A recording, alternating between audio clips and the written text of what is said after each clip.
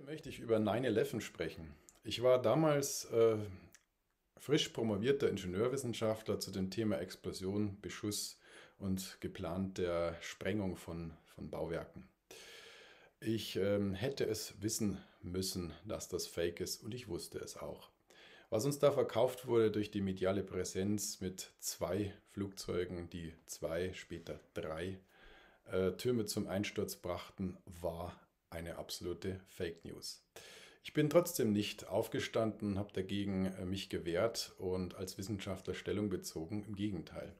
Ich habe zehn Jahre gebraucht, um überhaupt darüber zu reden. Die mediale Präsenz äh, dieser Fake News war so vehement und so erdrückend, dass ich den Eindruck gewonnen habe, im Nachhinein reflektierend das so sagen muss und so auch sehe, dass mit dem Einsturz von diesen drei Gebäuden bei vielen Menschen nicht nur Gebäude eingestürzt wurden, sondern das gesamte Weltbild. Ähm, wenn sowas möglich ist, hier so einen Fake zu verbreiten, was ist dann bitte schön politisch möglich? Und diese Frage, die tut weh, die kann man nicht einfach so wegstecken.